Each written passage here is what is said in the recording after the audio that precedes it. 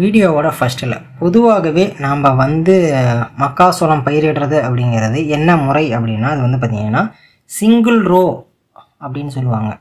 Single Rona ஒரே row தான். அந்த கவரை தூக்கி போட்டு அப்படியே நம்ம ஊனிட்டு போவோம். அந்த ட்ரிப் இல்லாத எதுவுமே இல்லாத. பெரும்பாலும் இந்த முறை வந்து பார்த்திங்கன்னா மானவாரியில் இருக்கவங்க பயன்படுத்துவாங்க. அப்படி இல்லைன்னா தண்ணீர் பாய்ச்சணும் அதாவது சொட்டு நீர் இல்லாத என்கிட்ட தண்ணி மா நிறையா இருக்குது அப்படிங்கிறவங்களும் இந்த மெத்தடை ஃபாலோ பண்ணுவாங்க. இதுவே இல்லை தண்ணியே இல்லை மழை பெஞ்சாதான் வானம் பார்த்த பூமி அப்படிங்கிற நிலமையில் இருக்கவங்களும் இந்த மெத்தட் ஃபாலோ பண்ணுவாங்க. இதற்கான ஸ்பேசிங் அதாவது பார்த்திங்கன்னா இடைவெளி அப்படின்னா செடிகளுக்கு செடிகளுக்கும் வந்து பார்த்திங்கன்னா முப்பது சென்டிமீட்டர் இடைவெளி கண்டிப்பாக தேவை. இருபத்தஞ்சி டு முப்பது சென்டிமீட்டர் நான் ரெக்கமெண்ட் பண்ணுறது கண்டிப்பாக முப்பது சென்டிமீட்டர் ஒரு செடியிலேருந்து ஒரு செடிக்கு தேவை. இருபத்தஞ்சி to twenty five twenty five to thirty சொல்லுவாங்க. நான் தேர்ட்டி கண்டிப்பாக தேவை அப்படின்னு சொல்கிறேன் அந்த கேப்புக்கு ஏற்ற மாரி தான் அதோட க்ரோத்தும் இருக்கும். ஓகேங்களா அதனால் முப்பது சென்டிமீட்டர் அந்த ஒரு பா ஒரு காலுக்கும் இன்னொரு காலுக்கும் அந்த ஒரு இடத்த ஒரு கவுரு இப்போ தூக்கி போட்டு ஊன்றோம் அப்படின்னா அங்கே இருக்க செடிக்கு முப்பது முப்பது சென்டிமீட்டர் கேப் ஓகேங்களா அந்த கவுத்தை மறுபடியும் நம்ம தூக்கி போடுறோம் இல்லையா அந்த அகலம்? அந்த தூக்கி போடுற டிஸ்டன்ஸ் வந்து பார்த்திங்கன்னா அறுபது சென்டிமீட்டர் வரணும். உங்களுக்கு அறுபது சென்டிமீட்டர் டிஃப்ரென்ஸ் தெரியலாம் ரெண்டு ஸ்கேல் அப்படின்னு வச்சுக்கலாம் இல்லை ரெண்டு அடி அந்த கணக்கில் வச்சுக்கலாம். அவ்வளோ டிஃப்ரென்ஸ் இருந்துச்சு அப்படின்னா பக்காவான ஈல்டு வரும். அப்படி என்னால் அறுபது சென்டிமீட்டர் வச்சா ரொம்ப கேப்பாக இருக்க மாரி இருக்குது அப்படின்னா ஐம்பது சென்டிமீட்டர் வச்சுக்கோங்க அவ்வளோதான் ஐம்பது டு அறுபது வந்து பார்த்திங்கன்னா போதுமான அளவு.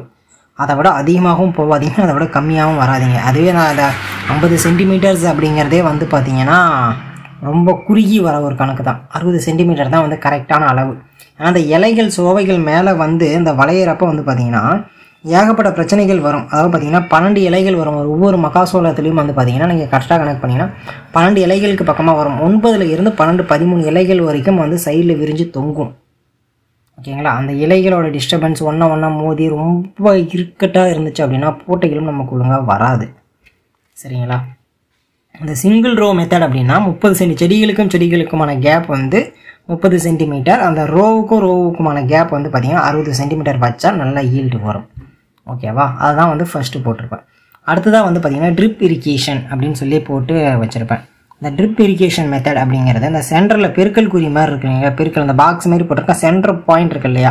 அந்த சென்டர் பாயிண்ட் தான் வந்து பார்த்திங்கன்னா ட்ரிப்பு போகிற ஒரு லைனாக கால்குலேட் பண்ணிக்கிங்க. அதோட மட்டும் இல்லாமல் அந்த சென்டர் பாயிண்ட் இருக்குல்ல அந்த இடத்துல தான் சுடுநீரில் வரக்கூடிய அந்த ஹோல் இருக்குது அப்படின்னு சொல்லி கால்குலேட் பண்ணிக்கோங்க. இது வந்து பார்த்திங்கன்னா நிறையா இடத்துல வந்து பார்த்திங்கன்னா பிரச்சனைகளை கொடுக்கும். எப்படின்னா அவங்க வச்சுருக்க ஹோலுக்கு ஏற்ற மாரி நிறையா ப்ராப்ளம்ஸ் எல்லாம் கொடுக்கும். ஸோ அதுக்கேற்ற மாரி அட்ஜஸ்ட் பண்ணிக்கிங்க. ஓகேவா இது வந்து சென்டர் பாயிண்ட் அதுவாக இருக்கும்போது அந்த முப்பது சென்டிமீட்டர் ஒரு செடிக்கும் ஒரு செடிக்கும் உள்ள கேப் வந்து முப்பது centimetre twenty five to thirty centimetre சொல்லியிருக்கேன் இல்லையா? இதில் வந்து தேர்ட்டி சென்டிமீட்டர்ஸ் போட்டிருக்கேன். இருபத்தஞ்சிலேருந்து முப்பது சென்டிமீட்டர் ஒரு செடிக்கும் ஒரு செடிக்குமான கேப் இது வந்து பார்த்தீங்கன்னா சென்டர் பாயிண்டில் தண்ணி ஒழுகுது. அதில் இருந்து லெஃப்ட் சைடு எடுத்துக்கிட்டாலும் வந்து பார்த்தீங்கன்னா முப்பது சென்டிமீட்டர் வரணும். ரைட் சைடு எடுத்துக்கிட்டாலும் சாரி லெஃப்ட் சைடு எடுத்துக்கிட்டாலும் இருபது சென்டிமீட்டர் வரணும். ரைட் சைடு எடுத்துக்கிட்டாலும் இருபது சென்டிமீட்டர் வரணும். ஓகேங்களா அந்த டீப்பில் இருந்து லெஃப்ட்டு வடது பக்கமாக இருந்தாலும் சரி இடது பக்கமாக இருந்தாலும் எந்த பக்கமாக இருந்தாலும் இருபது சென்டிமீட்டர் வந்து பார்த்தீங்கன்னா அகலம் இருக்கணும். பைப்பில் இருந்து வரக்கூடிய அகலம் இருக்கணும்.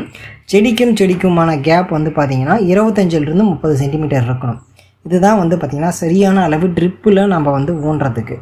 ஓகேங்களா? ஒரு சிலர் வந்து மூணு ஊணுவாங்க ஒரு சிலர் நாலு ஊணுவாங்க. இது வந்து ஒவ்வொன்றா ஊன்றதுக்கான ஒரு ரேஷியோ தான் நான் இதில் சொல்லக்கூடிய அளவு ஓகேங்களா? அந்த ஓட்டையை சுற்றி நாலு சோளம் ஊணுவாங்க இல்லையா? அவங்களுக்கு இந்த மெத்தட் வந்து பார்த்திங்கன்னா சூட்டபுளாக இருக்கும். அதேமாரி இப்போ இந்தாண்ட ஒரு ட்ரிப்பு முடிஞ்சிருச்சு. அதிலிருந்து அடுத்த ட்ரிப் அப்படின்னு சொல்லி பார்க்குறப்ப அடுத்த ட்ரிப்புக்கும் அதே மாதிரி அந்த ட்ரிப்பு பைப்பு போதிலே அதிலிருந்து லெஃப்ட் ஆர் ரைட் லெஃப்ட் சைடாக இருந்தாலும் இருபது சென்டிமீட்டர் ரைட் சைடாக இருந்தாலும் இருபது சென்டிமீட்டருக்குள்ளே அப்போ செடிகளுக்கும் செடிகளுக்குமான கேப் வந்து பார்த்திங்கன்னா இருபத்தஞ்சிலிருந்து முப்பது சென்டிமீட்டருக்குள்ளே இருந்துச்சுன்னா பக்காவான ரிசல்ட் ரெண்டு ட்ரிப்புக்குமான கேப் வந்து பார்த்திங்கன்னா அறுபதுலேருந்து எழுபது சென்டிமீட்டர் வரைக்கும் இருக்கலாம்.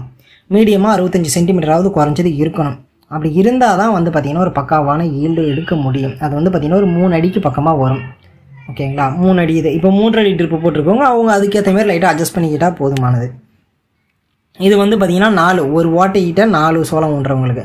இல்லை ஒரு ஓட்டிக்கிட்டு நாங்கள் ரெண்டு சோளம் தான் ஊன்றோம். இந்தாண்டு இந்தாண்ட தான் நாலு மூளைக்கு நாங்கள் ஊனாத லெஃப்ட் அண்ட் ரைட் மட்டும்தான் ஊன்றோம் அப்படின்னா நீங்கள் அந்த ஓட்டைக்கு நேரவே நீங்கள் வந்து இந்த மெஷர்மெண்ட் பார்த்தோம் செடிகளுக்கும் செடிகளுமான மெஷர்மெண்ட் தேவையில்லாத செடியோட அந்த ஓட்டையிலிருந்து இந்தாண்டு லெஃப்ட் சைடில் இருபது சென்டிமீட்டர் ரைட் சைடில் இருபது சென்டிமீட்டர் ஊனிட்டு அடுத்த ஓட்டைக்கு போயிட்டு அதே மாதிரியே லெஃப்ட் சைடில் இருபது சென்டிமீட்டர் ரைட் சைடில் இருபது சென்டிமீட்டர் விட்டு நீங்கள் ஊனிட்டீங்க அப்படின்னா கண்டிப்பாக பக்காவான ஒரு வீல்டு கொடுக்கும்.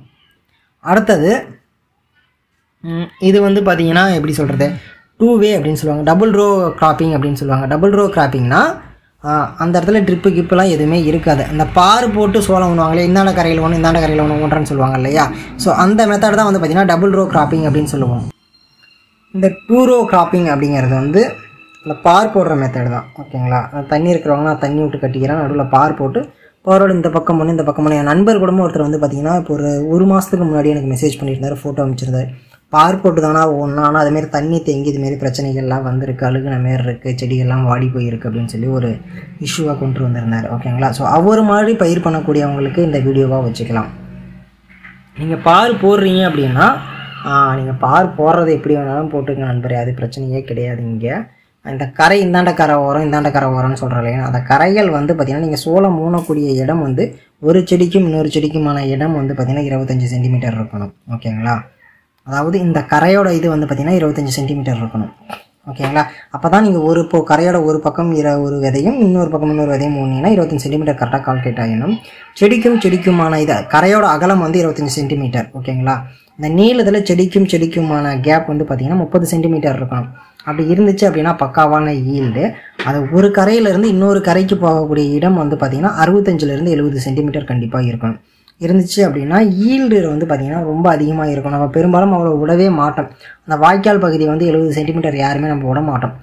வாய்க்கால் பகுதி வந்து பார்த்திங்கன்னா ஒரு முப்பதோ இல்லை முப்பது சென்டிமீட்டர் மேக்ஸிமம் முப்பது சென்டிமீட்டர் அப்படிலாம் நாற்பது சென்டிமீட்டர் தான் வந்து பார்த்திங்கன்னா நம்ம அந்த வாய்க்கால் பகுதி நம்ம விட்டுக்கிட்டு இருக்கோம். இது வந்து நடைமுறையில் சாத்தியமில்லாத ஒரு விஷயம் தான் அந்த எழுபது சென்டிமீட்டர் நடுவில் விடுறது அப்படிங்கிறது. ஓகேங்களா பட் இருந்தாலுமே நீங்கள் ஒரு அறுபத்தஞ்சி சென்டிமீட்டரோ அறுபது சென்டிமீட்டரோ விட்டீங்க அப்படின்னா தான் ஒரு பக்காவான ஈல்டு எடுக்க முடியும். அதை விட்டு ரொம்ப நெருக்கி பார் போட்டாலும் சரி ரொம்ப தூரமாக பார் போட்டாலும் சரி வாய்ப்பே கிடையாது.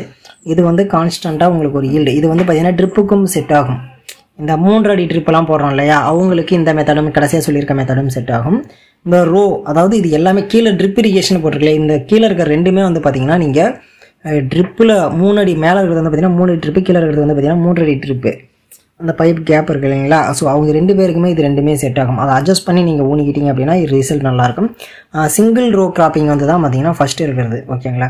பொதுவாகவே செடிகளுக்கும் செடிகளுக்குமான கேப் அப்படிங்கிறத நம்ம கால்குலேட் பண்ணி பார்த்தோம்னா இருபத்தஞ்சிலிருந்து முப்பது சென்டிமீட்டருங்க அவ்வளோதான் அவங்க சொல்கிறது அதை நம்ம கரெக்டாக ஃபாலோ பண்ணிக்கிட்டோம் அப்படின்னா கண்டிப்பாக ஒரு பக்காவான ஈல்டு நம்மளால் எடுக்க முடியும். ஸோ இதை விட தெளிவாக என்னால் இதுக்கு மேலே சொல்ல முடியாதுங்க. அந்த கேப்பிங்கை பற்றி இதை விட தெளிவாக என்னாலையும் சொல்ல முடியாது. வேறு யாராலையும் சொல்ல மு- அதாவது வேறு யாராலையாவது சொல்ல முடியலாம். என்னால் சொல்ல முடியாதுங்கிறதோட நான் நிறுத்திக்கிறேன். மற்ற யாராலையாவது சொல்ல முடியுமா முடியாதாங்கிறதெல்லாம் எனக்கு தெரில சொன்னாலும் நீங்கள் புரிஞ்சிக்கிங்க சொல்லனாலும் இதை பார்த்து தெரிஞ்சுக்கிங்க. இந்த வீடியோ மூலயமா உங்களுக்கு செடிகளுக்கு செடிகளுக்கான கேப் எவ்வளோ வரணும் பார்க்கு பார்க்கான கேப் இந்த ட்ரிப்பில் ஓன்றப்ப நாலு பக்கமும் ஓன்றது ரெண்டு பக்கம் ஓன்றது அதுக்கெல்லாம் எவ்வளோ கேப்ஸ் கொடுக்கணும் எப்படி அதெல்லாம் கால்குலேட் பண்ணணும் அப்படிங்கிற எல்லாத்தையும் உங்களுக்கு ஷேர் பண்ணியிருக்கேன் நம்பரை மறக்காமல் சேனலை சப்ஸ்கிரைப் பண்ணிங்க இன்னும் நிறையா பேருக்கு ஷேர் பண்ணுங்கள் அப்போ தான் நிறையா நண்பருக்கு இதை பற்றி தெரிய வரும். அவங்களும் நல்லா பலன் அடைவாங்க நன்றி.